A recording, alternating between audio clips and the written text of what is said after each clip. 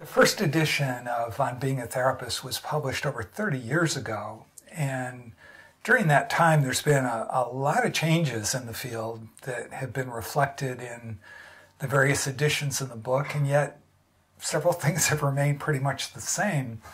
Um, but in this new edition, I've added a couple of new chapters that I think um, reflect some of the contemporary trends, one of which includes clients becoming um, much more critical and knowledgeable consumers. And um, so I've added a new chapter on not only how to be a therapist, but how to be a great client, how to get the most from the experience. Because one of our jobs as a therapist is teaching people how to get the most from the experience. And um, many, many clients sometimes complain that they're not getting what they what they prefer, what they want, because they don't speak up and ask for it.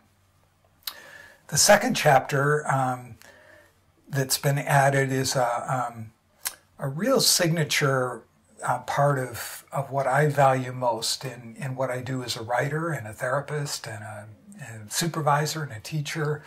And it's the power of storytelling that, in, in one sense, what we do for a living is um, hold and honor the stories of other people.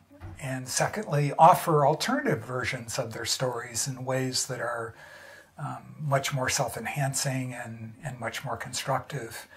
Um, in addition, because it's been over seven years um, since the last edition, the fourth edition, um, there have been some new conceptual frameworks. There have been a lot of new research in the field um, that, in some ways, has um, validated some of the earliest things that have been talked about in the book, but on the other hand, revising significantly some of our beliefs that really aren't supported by research. And um, with changes in technology, with changes in the ways that our services are being delivered, um, it's a very, very different world these days with um, mobile devices and social media and all the different ways that people access their learning and growth experiences.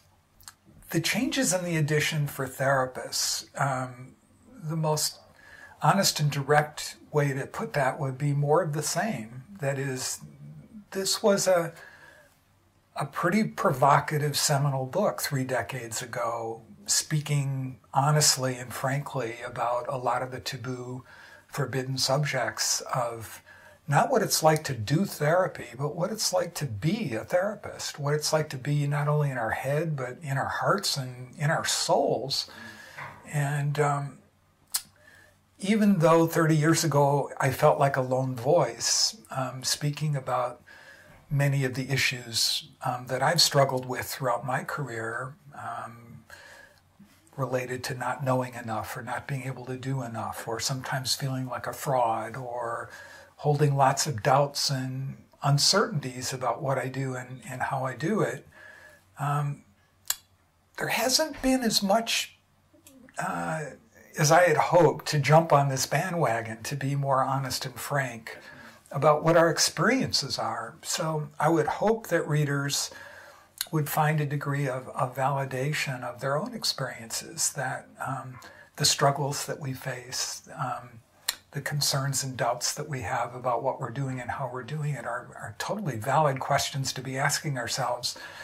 And yet, um, I very much hope um, that my intention follows through with the way readers experience. Um, uh, not so much reading the book as experiencing the book, that is the incredible joys and satisfactions and privileges that we have of being members of what I have always considered to be the luckiest job in the world. I mean, it's just like amazing that we get paid to do the incredible things that we get to do. As, as hard work as it is, as how much we're unappreciated and underpaid. It's just incredible that we get to sit with people and and be with them on their journeys and all the things that we're able to learn as a result of this. It's just oh, sometimes I feel like I want to pay my clients for what they teach me.